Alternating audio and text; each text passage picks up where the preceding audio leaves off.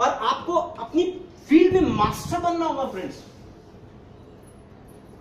अगर इंडिया और ऑस्ट्रेलिया का मैच चल रहा है, और धोनी भी खेल रहे हैं सचिन तेंदुलकर भी खेल रहे हैं, और भी बहुत सारे प्लेयर्स खेल रहे हैं तो लास्ट ओवर है, और सचिन तेंदुलकर इंटरनेशनल लेवल के प्लेयर है, उनको भगवान कहा जाता है। और धोनी को लगता है ये तो भगवान है क्रिकेट के। चलो लास्ट ओवर है, हम जीत भी सकते हैं, हम हार सकते हैं। चलो, सचिन तेंदुलकर से बॉलिंग करवाएँ। क्या धोनी करवाएँगे? उनको पता है भाई, सचिन तेंदुलकर बहुत शानदार बैट्समैन है। ये बॉलर नहीं है।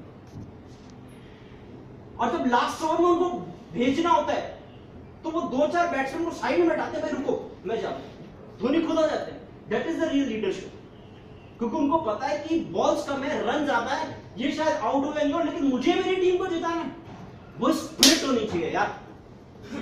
आप एक ऑर्गेनाइजेशन को एग्जामिन कर रहे हैं, आपकी कोई वैल्यू नहीं है।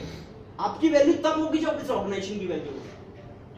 और वो वैल्यू एक इंसान नहीं बनाता, वो पूरी ऑर्गेनाइजेशन आप सबको अपनी ऑर्गेनाइजेशन के बारे में, अपने काम के प्रति फ्रेंड्स अच्छा सोचना होगा। अच्छा सोचोगे तो ऑटोमेटिकली आप अच्छा करेंगे और अपनी फ़ील्ड में आप मास्टर बनेंगे। मास्टर बनने के लिए आपको अपनी ज़िंदगी के दस हज़ार घंटे देने होंगे।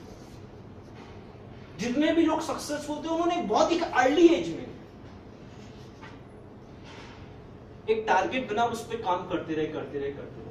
और बहुत सारे लोग जो आगे बहुत ज़्यादा नहीं बढ़ पाए, क्योंकि उनका कोई टारगेट ही दुनिया में सिर्फ़ टू परसेंट लोगों के पास टारगेट है नाइनटी एट परसेंट लोग तो बस ज़िंदगी को जो चल रहा है,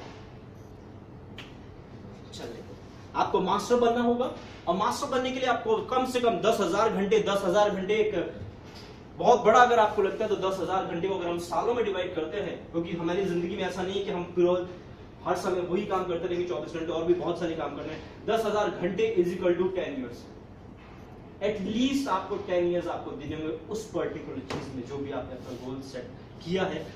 डेफिनेटली आप धीरे धीरे आगे बढ़ते चले be a life long learner